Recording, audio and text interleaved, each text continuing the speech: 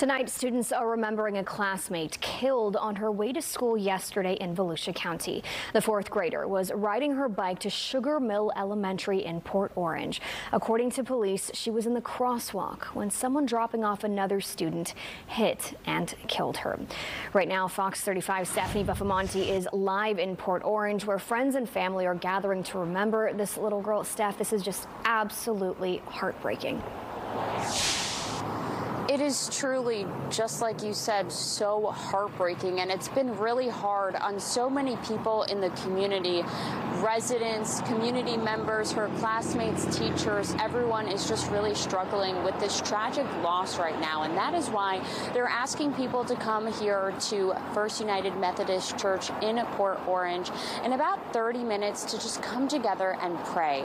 And then after that, at 6 o'clock, they're going to have families and kids come together just to grieve together, heal together, talk together. So this happened yesterday. The little girl, the fourth grader, she was on her way to school. She was riding her bike when she was hit and killed. Police say she was in the crosswalk when she was hit by a driver leaving the school after dropping off another student. Now, there is no crossing guard located where that little girl was hit. We spoke with some of the people who gathered last night to place flowers, notes, and teddy bears along a fence outside of the school right near where she was killed.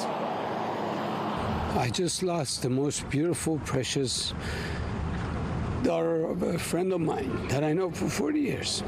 We lost a beautiful child today.